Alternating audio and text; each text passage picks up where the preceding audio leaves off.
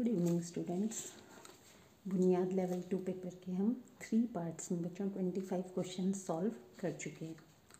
आज हम part four से स्टार्ट करेंगे क्वेश्चन नंबर ट्वेंटी सिक्स से।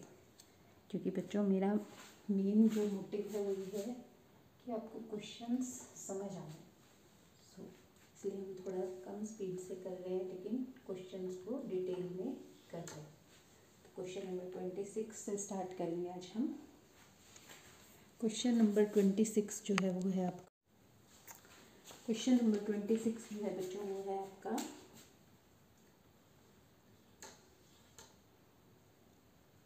एक संख्या में दो अंक होते हैं, जिनका जोड़ बारह है। यानी कि दो अंक हैं इसमें, इनका जोड़ क्या है? बारह। मान लेते हैं एक्स और वाई दो अंक हैं। तो संख्या क्या बनेगी इससे? संख्या जो है हमारी बन जाएगी दस एक्स प्लस वाई। आगे कह रहा है, यदि संख्या में अठारह जोड़ दिया जाए तो इसके अंक उलट जाते हैं। संख्या में अठारह जोड़ दिया जाए तो इसके संग अंक उलट जाते हैं, यानी दस वाई प्लस एक्स हो जाएगा ये। अंक उलट गए, इधर से वाई, इधर एक्स चला गया, इधर वाई आ गया। इस दो समीकरण हमारे पास मिल गई हमें। इनको हम हल कर लेते हैं। द एक्स और वाई को इस साइड लाएँगे तो दस X minus X plus Y minus दस वाई बराबर माइनस अठारह। अठारह को हम इस साइड ले जाते हैं। यहाँ से आपके पास आ जाएगा नौ एक्स माइनस नौ वाई बराबर माइनस अठारह। नौ कॉमन आ गया आपके पास। एक्स माइनस वाई बराबर माइनस अठारह। कट जाएगा नौ कम नौ नौ दूनी अठारह। समीकरण आ गई एक्स माइनस वाई बराबर माइनस दो। एक समीकरण हमारे पास पहले से ही है एक्स प्लस वाई बराबर बारह। कट गए ये प्लस और माइनस थे। ये आ गया आपके पास दो एक्स बराबर दस। तो एक्स आ जाएगा यहाँ से आपका दस बटा दो, यानी कि पाँच। एक्स कितना आ गया हमारे पास? पाँच। और यहीं से हम वाई निकाल लेंगे। किसी भी समीकरण में आप इसको रख सकते हैं।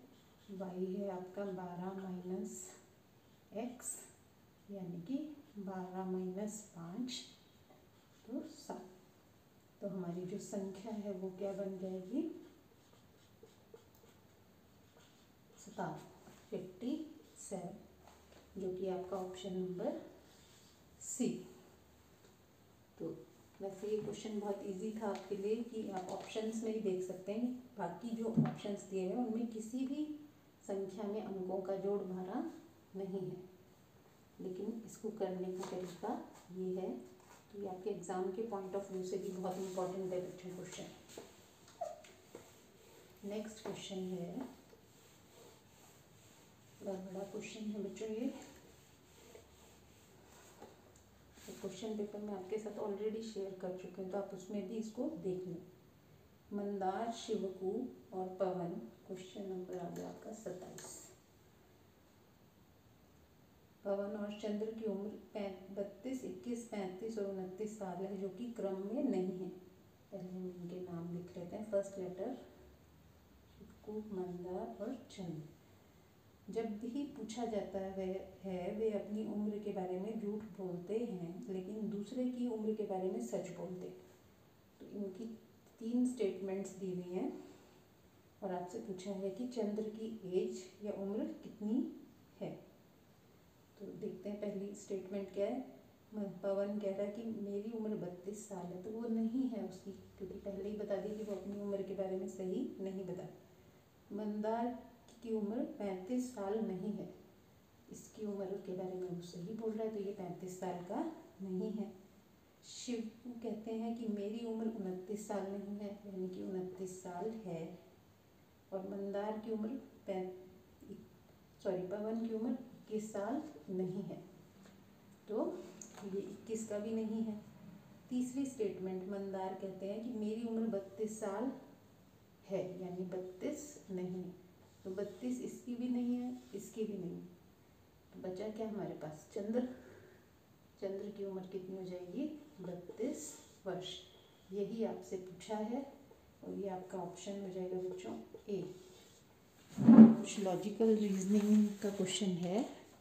इसमें आपने बहुत ज़्यादा मैथ्स के स्किल्स आपको नहीं दिखानी है। नेक्स्ट क्वेश्चन है क्वेश्चन नंबर ट्वेंटी एट क्या है इसमें? देखिए, राजा अपने घर से निकलता है और दस फीट पूर्व की ओर चलता है। मान लीजिए, वो यहाँ से उसने चलना शुरू किया और दस फीट वो है जो पूर्व दिशा में चलता है।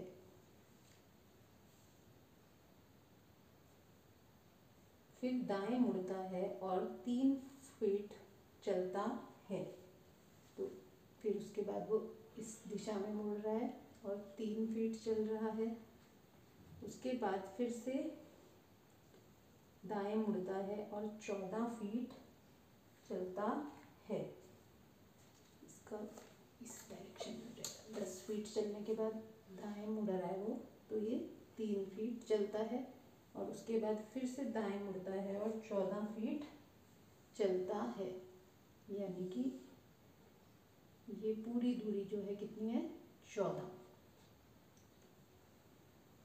अब वह अपने घर से कितनी दूर है? तो उसका स्टार्टिंग पॉइंट ये था, यानी कि घर जो है उसका हमने ये दूरी बतानी है। ये वाली जो दूरी है, हमने ये निकालनी है कि वो अपने घर से कितना दूर है।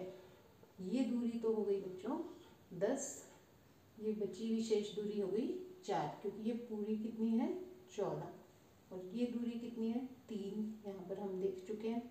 तो हमने ये वाली दूरी, अगर हम इसको ए बी सी मार्क कर दें तो हमने ए सी निकालनी है। तो ये, यहाँ पर आप पाइथागोरस थ्योरम लगाकर इसको बहुत इजीली कर सकते हैं। ए सी बराबर हो जाएगा बच्चों। ए बी का स्क्वायर प्लस बी सी का स्क्वायर जो कि आपका तीन का स्क्वायर प्लस चार का स्क्वायर ये हो जाएगा आपका नौ प्लस सोलह बराबर अंडर रूट पच्चीस, जो कि पाँच के बराबर होता है। यानी कि पाँच फीट दूर पे वो है अपने घर से। और पेपर में आपका ऑप्शन नंबर जो ठीक है बच्चों, वो है ऑप्शन नंबर बी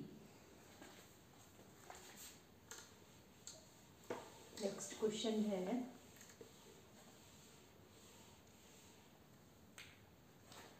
मैं और मेरा दोस्त सौ मीटर की दूरी पर स्थित हैं। दो बच्चों, दो लोगों की बात हो रही है यहाँ पर। जिनके बीच में आपस में दूरी जो है, वो जो है सौ मीटर। उनतीसवा प्रश्न है। साथ साथ आप फिगर ड्रॉ कर दें, जिससे कि आपको इजी हो जाए। मान लीजिए एक ए है। और एक बी है और इनके बीच की दूरी, कुल दूरी जो है वो सौ मीटर है। स्थित दो स्थानों से एक साथ एक दूसरे की ओर चल पड़े। यानी ए तो इस दिशा में चलेगा और बी इस दिशा में तीस मीटर चलने के बाद मेरा मित्र बाएँ मुड़ता है। तो यहाँ से कितना? तीस मीटर चला वो। मान लो इस पॉइंट पे आके हमारे हो गई है तीस मीटर। और वो इस दिशा में मुड़ जाता है। लेफ़्ट साइड में मुड़ रहा है। और दस मीटर चलता है। कितना चल रहा है? दस मीटर। फिर दाएँ मुड़ता है और बीस मीटर चलता है। फिर इस तरफ़ मुड़ा और कितना चला? बीस मीटर।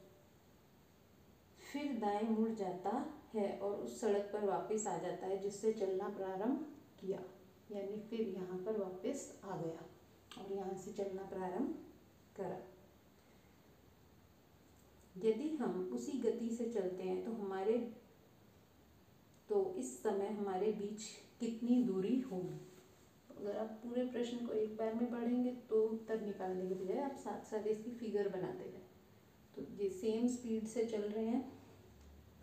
और बी ए जो है ये यूँ गया और बी जो है वो सीधा चल रहा है बच्चों। हमने इन दोनों के बीच की दूरी बतानी है। तो देखिए ए द्वारा कुल तय दूरी कितनी है? तीस मीटर चला ए प्लस दस मीटर ऊपर की तरफ़ है, फिर इधर बीस मीटर है। तो ये हो गया आपके चालीस और साठ और फिर दस मीटर इधर आया। यानी कि कुल दूरी हो गई सत्तर मीटर और उसी दौरान जो है, वैसे एक ही दूरी कितनी है, अगर हम सीधी इसी सड़क पे देखें, तीस और बीस, पचास। तो वैसे जो तय की गई इसकी दूरी है वो है पचास। ये बिंदु क्या दिखा रहा है? पचास मीटर। और बी भी उसी दौरान कितना चल लिया, लेकिन सत्तर। तो बी जो है, इस बिंदु पे पहुँच गया, सत्तर मीटर पे। नेक्स्ट क्वेश्चन है बच्चों, क्वेश्चन नंबर ट्वेंटी नाइन, उनतीस। मैं और मेरा मित्र सौ मीटर की दूरी पर स्थित दो स्थानों से एक साथ एक दूसरे की ओर चलते हैं। ये दो पॉइंट्स हैं बच्चों उनके बीच में दूरी है सौ मीटर। तीस मीटर चलने के बाद, यानी इस पॉइंट को ए मान लें, इसको बी मान लें, और तीस मीटर चलने के बाद, अगर ये पॉइंट हमारा हो गया तीस मीटर चलने के बाद मेरा मित्र बाएँ मुड़ता है और दस मीटर चलता है। यानी इस साइड मुड़ा और 10 मीटर चला। फिर वह दाएँ मुड़ता है और 20 मीटर चलता है। फिर इस तरफ़ मुड़ा और 20 मीटर चला। और फिर दाएँ मुड़ता है और वापस उसी सड़क पर आता है जिस पर हमने चलना शुरू किया था। यानी फिर वापस इसी दिशा में मुड़ गया। यदि हम उसी गति से चलते हैं तो हमारे बीच इस समय कितनी दूरी होगी? हमने ये बताना है। तो ये फिगर बन गई आपके पास। अब ए द्वारा जो तय की गई कुल दूरी है, वो कितनी है? तीस प्लस ये वाली दस प्लस बीस प्लस इधर से भी दस। चालीस और तीस, सत्तर। सत्तर मीटर। तो बी ने भी उस दौरान में कितनी दूरी तय करी? सत्तर मीटर, यानी बी इस बिंदु तक पहुँच गया। और ए जो है इस बिंदु पे है, यानी कि ये दूरी कितनी है? पचास। तो उनके बीच की दूरी जो है, वो कितनी हो जाएगी? सत्तर माइनस पचास, यानी बीस मीटर, जो कि आपका क्वेश्चन पेपर में ऑप्शन नंबर है बच्चों। बी इसके बाद हम नेक्स्ट क्वेश्चन करेंगे। क्वेश्चन नंबर है हमारा थर्टी क्वेश्चन नंबर तीस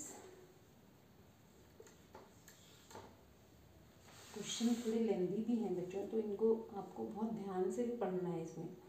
ए बी सी को एक असाइनमेंट पूरा करने के लिए 506 पेज टाइप करने हैं, होते हैं या करने हैं। कितने पेज हैं? 500 छ। ए, एक पृष्ठ को पाँच सौ छः पेज उनको टाइप करने हैं। अभी है। ए, एक पृष्ठ को बारह मिनट में टाइप, बारह मिनट में ए जो है, वो बारह मिनट लेता है एक पेज को टाइप करने में।